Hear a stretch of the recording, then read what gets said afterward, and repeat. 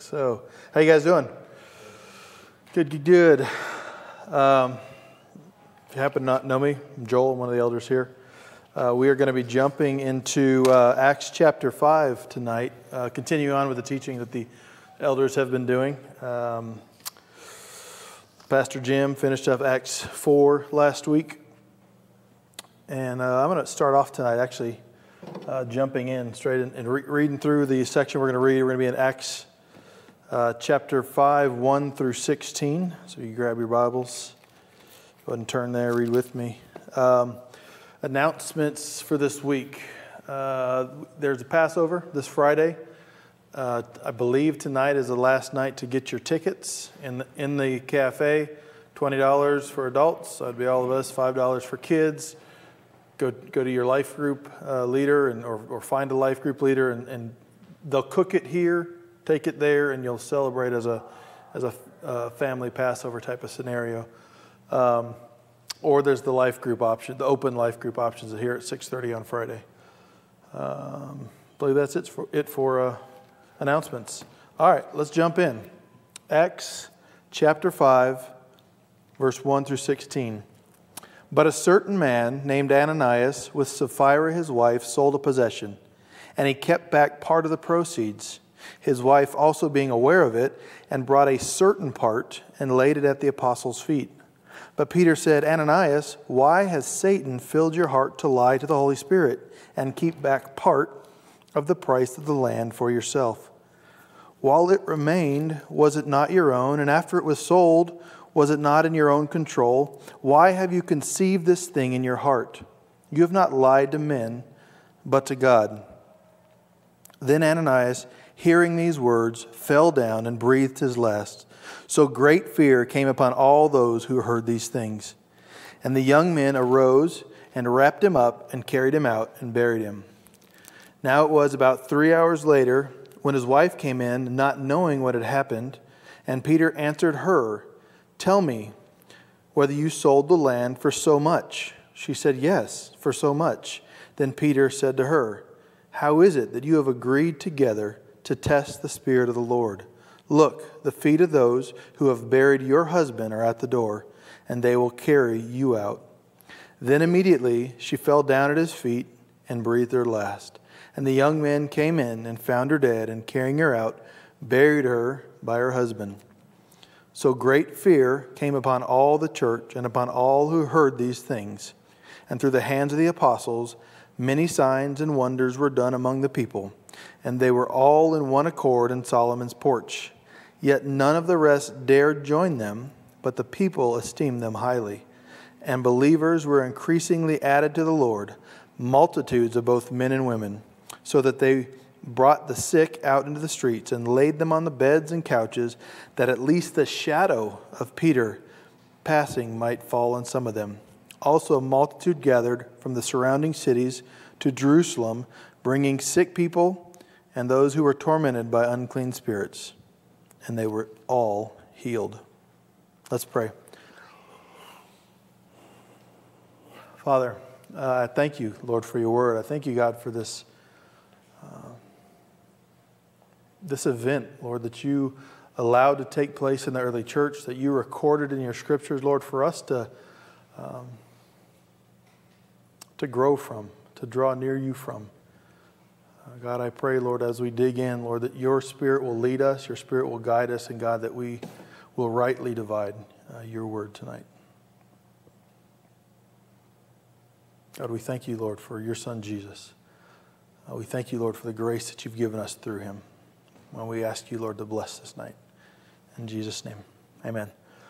All righty.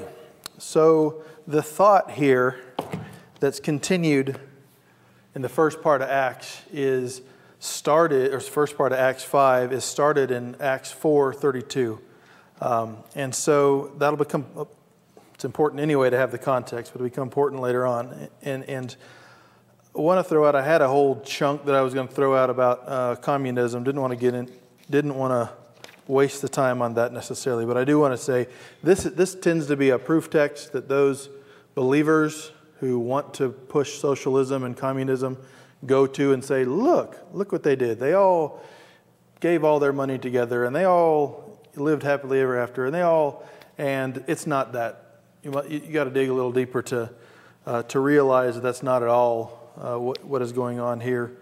Uh, at no point does, does Peter even say, hey, this was a good thing they were doing. It wasn't necessarily a bad thing. Later on, you find the Jerusalem church is absolutely broke, and other, other churches are having to support them. So I'm not going to go any further than that, just to say that this is absolutely not a, not a proof text that you can pull socialism or communism and, and say, hey, look, the Bible says. Um, going on, so that we're going to jump back to 32 just for a second. If I get in the right chapter. Chapter 4, 32. Now the multitude of those who believed were of one heart and one soul. And so when we start off 5, it starts off with but. And that's a but based on that now. So you have the now, nor, and, and, but. And this is a, so the thing that jumps out at us right, right here that, that um, I didn't get honestly, until I started digging into the, I didn't realize this, but that Ananias and Sapphira are, are part of this believers. That changes the whole picture we have of this scripture. They are believers. And uh, surprisingly, believers sin. Who knew believers sin? and so uh, um, I'm going to I'm gonna actually start off with a life lesson. This is a strange place to start, but I'll start there. Um, certain sections of Scripture are descriptive and not directly prescriptive. When the Bible records events, it does not necessarily say, do this or don't do that. So the Bible has many, many points in where it is a, a historical narrative. It's telling the story, it's recording the story, and, and what happened is true. What happened, happened and is true but it, we're not necessarily supposed to pick that out of the pages and then let me go apply this to my life. If I, if I lie, God's going to kill me. Or, or in the case of, you know, if, you, if you take the historical narrative of Job out and, and, and you, um, you know, his wife, you know, he was having a rough time. His wife said, curse God and die. Hey, it says it right there in the Bible. Wives should tell their husbands if they're sick, curse God and die. I mean, so it's, we need to, we need to be careful uh, with, well, always couching the study of Scripture in, in, the context of the Scripture. What kind, what kind of uh, writing is it? Um, so, what about uh, 1 Timothy, excuse me, 1 Timothy 3, 16 through 17? Actually, that's second. second. Second Timothy, sorry about that. Second Timothy. All scripture is given by inspiration of God and is profitable for doctrine, for reproof, for correction, for instruction in righteousness, that the man of God may be complete, thoroughly equipped for every good work.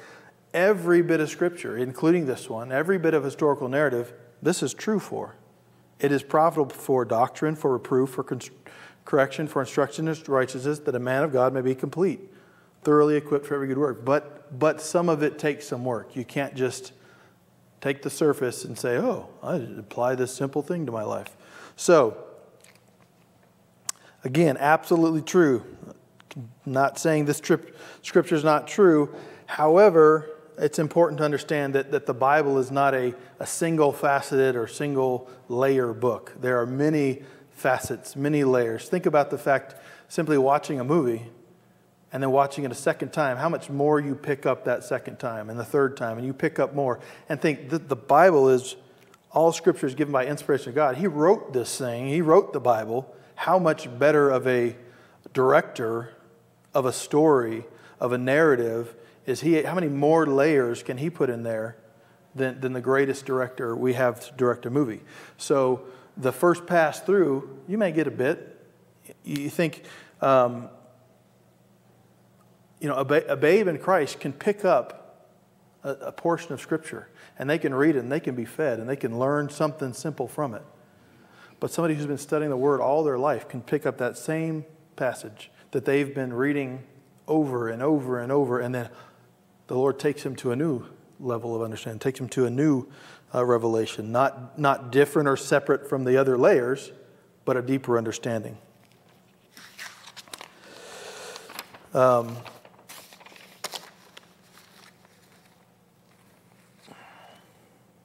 So, why I start, start here is because at first glance over this section, it's kind of a really?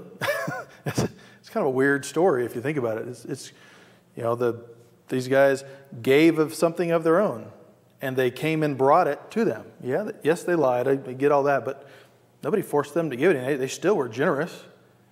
And then all of a sudden, whack, you're done.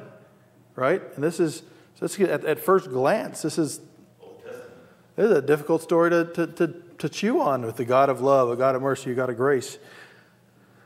However, and, that, and this, this is just life lesson here, that if, if you come to a, if you're reading something in Scripture and it doesn't make sense to you, sense to you, excuse me, let me try this over. If something does not make sense to you when you read and study the Bible, something is not wrong with the Bible.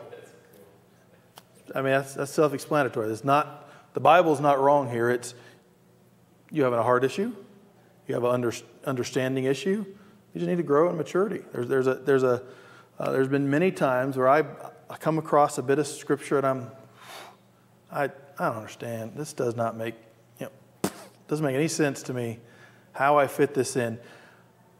So I pray about it. Oftentimes I'll write it down. I'll write down my question. I, I've been amazed how many times when I've taken the effort to write down my question, how when I'm, when I'm chewing on that question, I'll get an answer off the radio. I'll get an answer I happen to be reading later that week, and I, the Lord will answer these questions that we have. He'll, he'll, he'll give us illumination of, of Scripture that we don't understand, but, but don't get stuck on it. Well, I don't understand. This just doesn't make sense. Read it, pray, move on to, to, what, to another passage that the, uh, the Lord might illuminate for you. 2 Timothy 2:15 Be diligent to present yourself approved to God, a worker who does not need to be ashamed, rightly dividing the word of truth. Diligence, by definition, takes time. Diligence, by definition, takes time. We, we must continue to study and dig and, and get in deeper in order to understand some things. So, all that said, just kind of a preface because this is kind of a weird story. So, let's dig in. But, remembering this is coming from now the multitude of those who believed, but a certain man named Ananias and Sapphira, his wife, sold a possession, and they kept back part of the proceeds. His wife also, being aware of it, and brought a certain part and laid it at the apostles' feet. But Peter said, Ananias, why has Satan filled your heart to lie to the Holy Spirit and keep back part of the price of the land for yourself? While it remained, was it not your own? And after it was sold, was it not in your own control? Why have you conceived this thing in your heart? You have not lied to men, but to God. So, what are some things that we observe right off the bat? He sold a possession. If you look back up at what the other folks were, there selling all their possessions. So, he sold a possession. And, and on top of that, he kept back part of the proceeds. And on and he only set aside a certain part to bring in and set at the apostles' feet. His wife was aware of it. We're, we're given that bit. Um, an interesting thing here is Satan filled, and yet he conceived in his heart. These are not opposing things. The devil didn't make you do it. Satan may have given you temptation. We may have a temptation and a, and a, and a stronghold, maybe even that we trip on, but Satan didn't make you do it. He planted a temptation, and we conceived in our heart to walk that temptation out. And he lied to the Holy Spirit. He lied to God, and he lied to the Holy Spirit. This, this happens to be one of the proof texts for uh, the Holy Spirit being God, being uh, one of the Trinity. Um, that, that here it first says, uh, filled your heart to lie to the Holy Spirit, dropped down and said, You have not lied to men, but to God, uh, saying that the Holy Spirit is God, something we agree with, but it's a, it's a proof text uh, for that point. So, take, it, take a step back to what's going on in the story. They, they've been meeting at Solomon's porch, and if you have a view of, of the Anybody been to Israel here? Israel. So that right now we basically have one, one wall left. The, the temple complex was a huge, huge structure. Um, and Solomon's porch was a, on the east side of the wall, it was a large colonnade. It's called Solomon's porch, Solomon's portico, Solomon's colonnade, many different things. It was basically a, a covered porch, for lack of a better term. It had three columns covered where people could gather in. Uh, it was outside of the, um, it, was, it was just to the front of the women's court. Uh, around, around the uh, outside was the um, court of the Gentiles, and it was kind of, I don't know if part of it was kind of the front area that anybody could go into. Um, and so you have this massive structure, massive structure that people are, are gathering in a public place and they're gathering, preaching the gospel. They're gathering as, as, as a body of believers coming together and fellowshipping in a public place. And so Ananias and Sapphira, who are part of these believers, are watching what's going on. And they're watching these people coming up who've sold all, all that they have to bring forth this gift of sacrifice to lay at the apostles' feet, to lay at Peter's feet. And they see the honor that's, that's given to these people. They see the, man, that's pretty cool to do something like that. That's pretty neat to, to see people do something like that. Barnabas being one of them we see here, who is raised up as a, as a friend and a traveler of the apostles. And, and uh, so, so, they, so they, they're in a public place. They're able to um, see the result of a gift of sacrificial giving that the Lord has given to some people. And so I think this, this bears a, a warning for us in that they saw what was happening and they wanted some of the result of what was happening without going through the pain and the sacrifice of getting what was happening. They, they saw this, this little picture, this little circumstance in somebody's life rather than the, the full scope of their whole life. And they said, I want that. And that looks nice. I'd like to have that. And how often do we do that. We, we see somebody, he's got a cool spiritual gift. Man, that guy can teach. He's got a cool spiritual gift. Man, that guy, he's got a great voice. I want that. Why can't I sing, God? Man, it, I can't sing for anything. So that God did not give me that. But, but we, how often do we look somewhere else at somebody else's gift? They have a nice house, a nice car, uh, a nice wife, no wife whatever. We, we look somewhere else and say, I want that, God. Right? I want, I want what they got instead of what I got. And we look at one little circumstance of what they have rather than the whole picture that goes with what they have. And we would like to, oh, I'd like to have the big house and the big car. Oh, and this person's daddy who financed it all. And I don't want any of the bad parts of everybody's life. I just want the good parts. And it's easy to look around and see the best and the honorable and the happy parts of people's lives and then look at your life. Oh, nothing's good in my life. You know, rather than uh, be thankful and joyful with the life that God has given us and not, not seek to be exalted um, outside of humility. 1 Peter 5, 6 through 7. Therefore, humble yourselves under the mighty hand of God, that he may exalt you in due time, casting all your cares upon him, for he cares for you. He, he didn't forget about you. He didn't forget about me. He didn't think he had handed out gifts and he gave him nice gifts and him nice gifts and him money and me. But what about me, God? He didn't forget about me. He, he blessed me. He cares for me. He blessed me with the best gifts for me.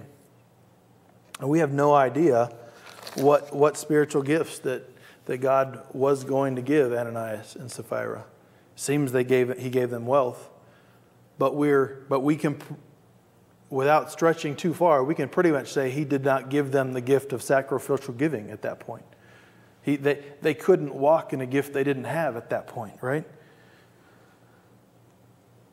For example, in my own life, with uh, I, I, can I can look at uh, Pastor Tom now, and I can become very frustrated because Tom is very rigid and scheduled and has things, everything down to a T, and that's just not who I am. I can look at Tom and say, man, I would really like to be like that. but I'm not. That's just not who I. God gave me different gifts, and so I, I can I can work towards that, and I can and the Lord can grow me in that. But it's not a natural gift administration that God has given me, and so I can either be I can either be happy and thankful of the gifts that God gave me and praise the Lord and walk in those gifts, or I can continue to look at Tom and man, I wish I had that gift. I wish I could do that, right?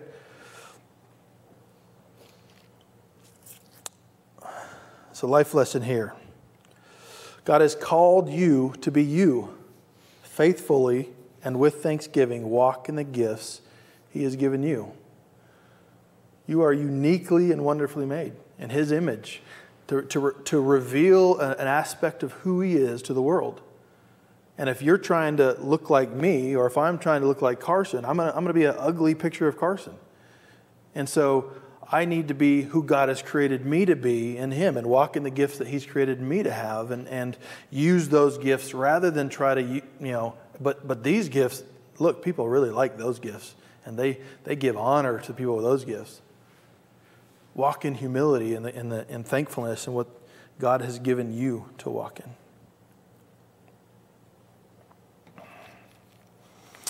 Verse 5. Then Ananias, hearing these words, fell down and breathed his last. So great fear came upon all those who heard these things. And the young men arose and wrapped him up and carried him out and buried him. Now it was about three hours later when his wife came in, not knowing what had happened. If you'll allow me a bit of conjecture, I think based on this, this scripture alone, we know that they don't have Facebook. I really think that we can. Three hours her husband was dead and she didn't know. They didn't have texting. I mean, this is proof text to that. But um,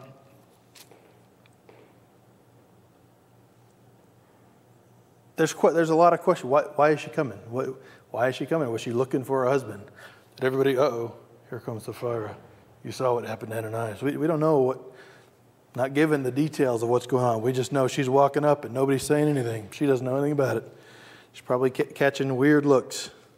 Verse 8 And Peter answered, Tell me whether you sold the land for so much. She said, Yes, for so much.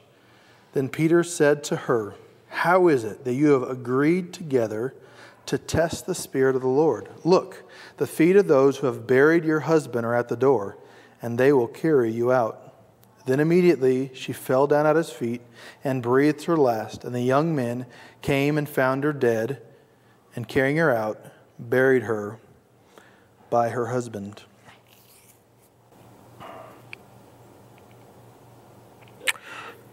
So, a couple things.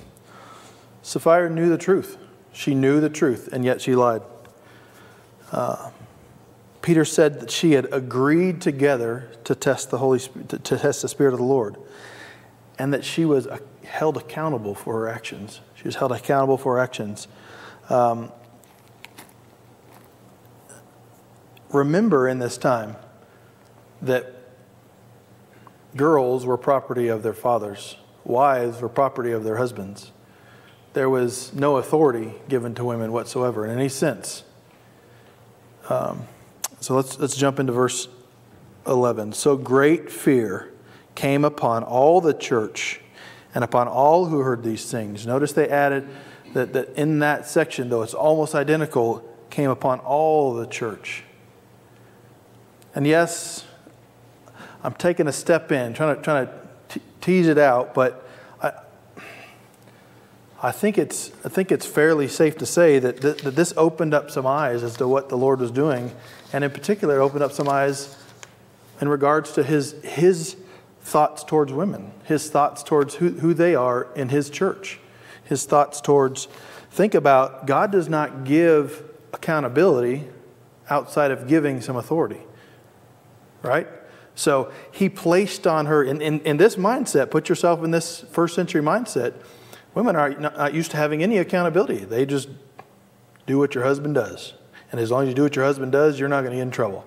So, but, but she was taken, Peter came to her, asked her, she gave her words, and then was held accountable for not telling the truth.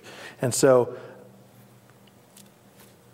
I think it's a that the fear that came upon all the church may have been the realization of women that I'm now accountable for my own actions. I'm now accountable to stand and, and tell the truth, period. And for men to say, ooh, my wife now has a mantle of authority to not just do what I tell her to do, but to tell the truth, to speak the truth, to, to confront truth. Um, so let's hit a life, life lesson here. God does not give accountability without authority, nor authority without accountability. A wife has the authority and accountability under God to stand up for truth, even if it opposes her husband. This would have been crazy, crazy thinking in the first century church.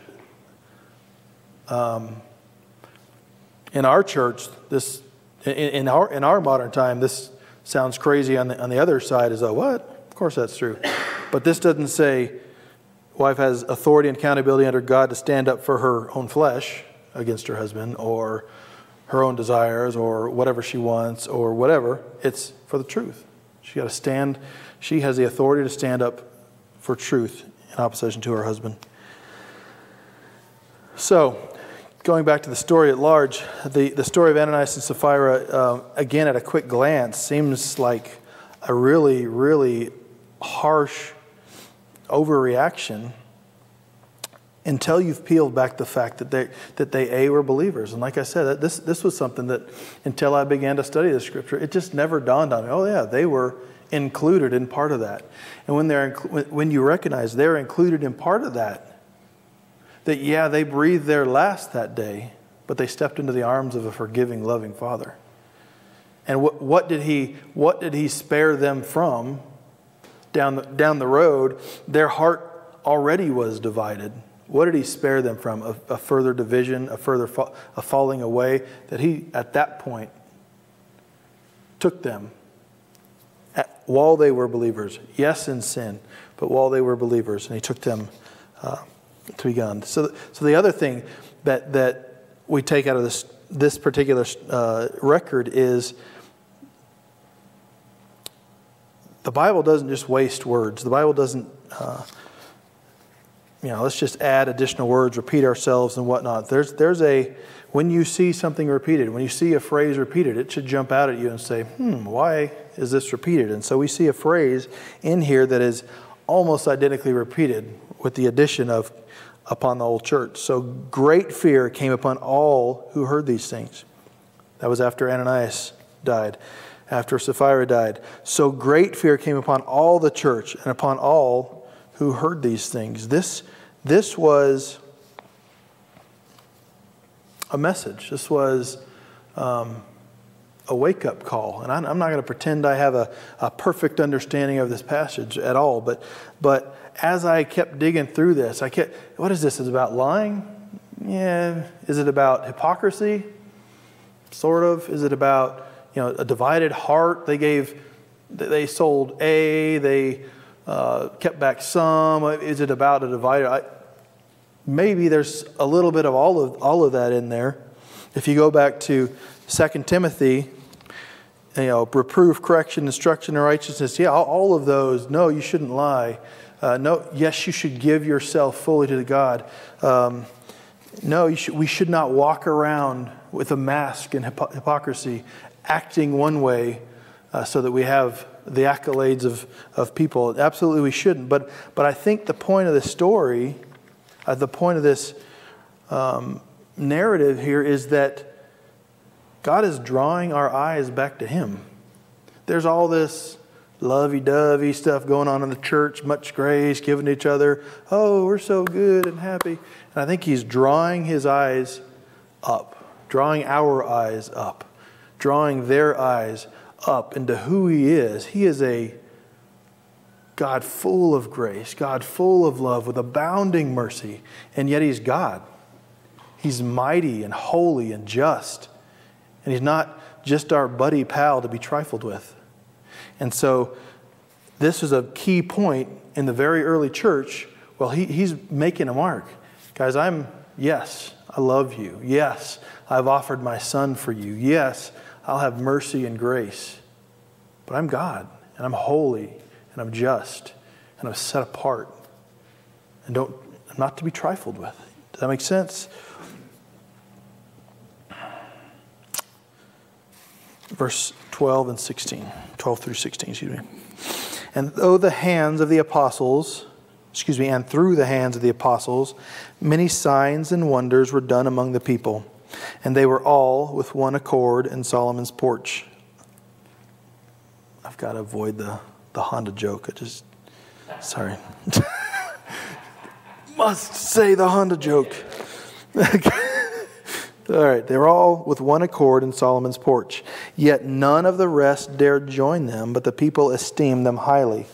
And the believers were increased were increasingly added to the Lord, multitudes of both men and women, so that they brought the sick out into the streets and laid them on the beds and couches, and at least the shadow of Peter passing excuse me, I didn't read that well, that at least the shadow of Peter passing might fall on some of them. Also, a multitude gathered from the surrounding cities to Jerusalem, bringing sick people and those who were tormented by clean spirits, and they were all healed. There was an amazing work going on in the early church with the apostles, something that we.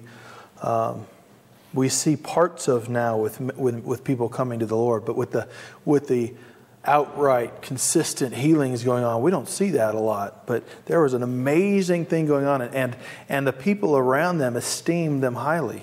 They thought, so much so that they would bring people to set them on steps that, that they knew Peter would walk by, just hoping, just hoping that a shadow would fall on them. They thought they had exalted Peter up to a point where, man, this guy is amazing. So they esteemed the apostles, they esteemed the Christians very highly, and yet they didn't join them. Notice they did not join them. And so, my point being is that God didn't call us to be esteemed. He didn't call us to be esteemed highly by men. We should, as, as seeking after being, being a, um, the, the idea of an elder is, is yes, we should have a good report among men. However, we should not be, be, be desiring just for people to esteem us highly. That's not the goal, right? We should, uh, Luke 26, excuse me, 626. Woe to you when all men speak well of you, for so did their fathers to the false prophets. And John 12:43 for they love the praise of men more than the praise of God. And and I'm not saying at all that the apostles thought this way but it's very easy and I, I work in the business world it's very easy for me to fall into the hey everybody loves Joel. Hey i have got a good good everybody likes me at work but am I really affecting them for the kingdom and I, am I really uh, able to share Christ with them or do they just esteem me highly? Because if they just esteem me highly, that may give me a platform to offer Christ to them, but esteeming me highly is not going to save them. So if I walk away from there and they esteem me highly and they never heard the gospel, what have I done? I haven't done my job. I haven't done what God put me in that place for, right? And so it is we see in this time that there are many multitudes of both men and women coming to the Lord, coming to the Lord, not coming to those who they esteemed highly. They're coming to the Lord. Because why, though? Because they're preaching the gospel. They're preaching the gospel of Jesus Christ. They're sharing what, what God did through his son. Um, you've probably heard the, the quote that's attributed to, um, to Francis of Assisi Preach the gospel, and if necessary, use words. So spiritual.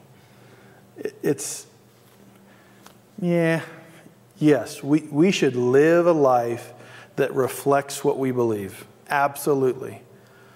But again, if people just esteem you highly, they're not going to be drawn to Christ.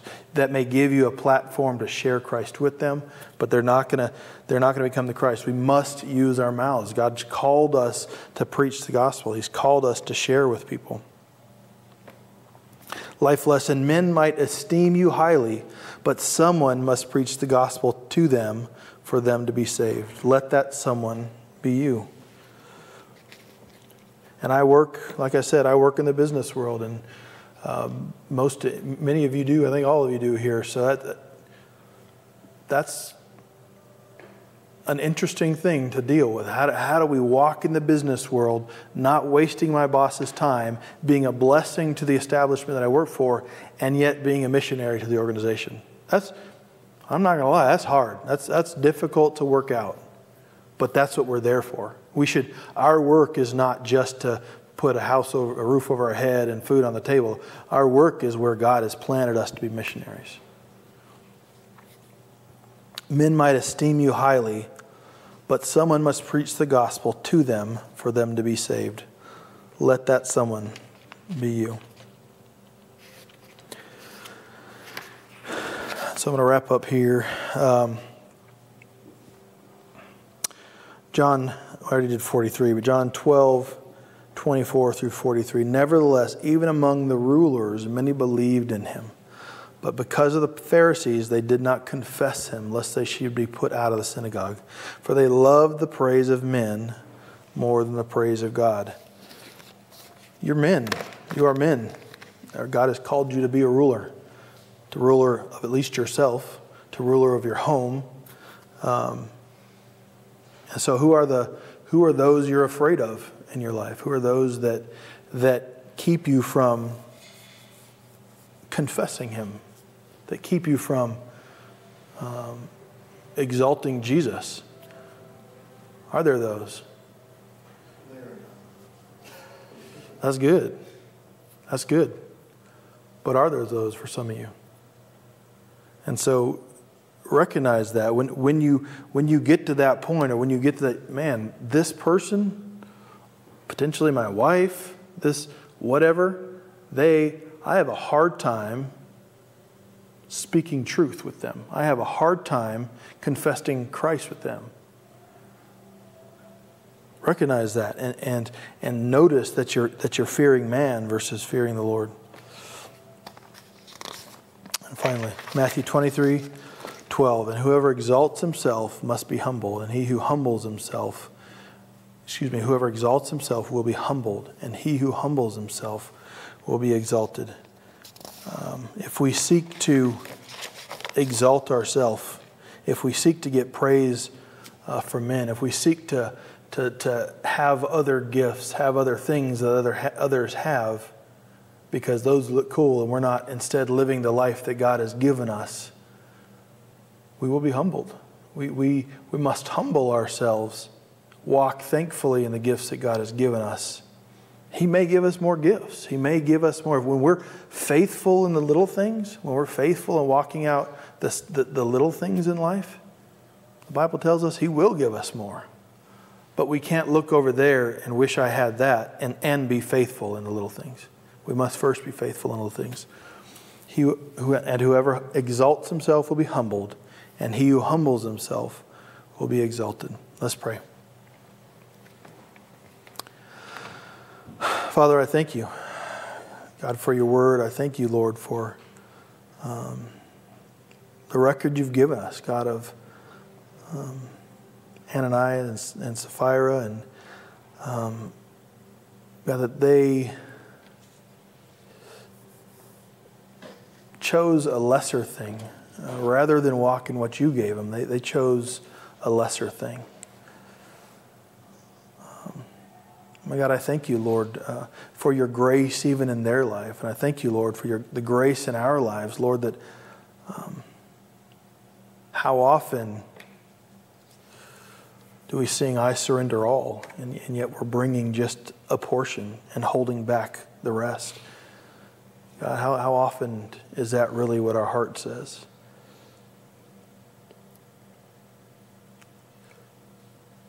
God, forgive us for not truly bringing all. Lord, forgive us for not, uh, Lord, exalting you and your Son Jesus in our hearts and minds and lives, Lord, when we don't. And just pray, God, that you uh, continue reminding us, as you have in this scripture, God, that, uh, that you are God and you are holy and you are just. Uh, yes, who, has offered mercy, who's offered grace.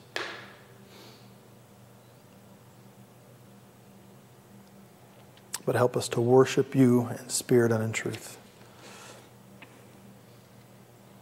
Father, I thank you for these men. Lord, I thank you for this time. Uh, Lord, we love you. In Jesus' name, amen. I'm sure they're going to cut that part off of the uh, what they put online, I'd imagine, but. Happy birthday to you, Joe. Say happy birthday,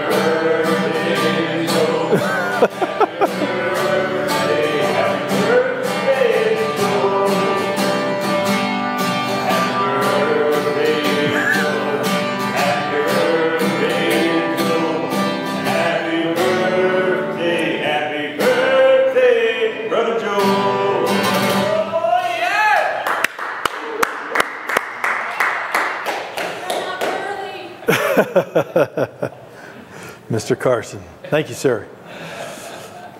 I'm sure they're going to cut that part off of the uh, what they put online, I'd imagine, but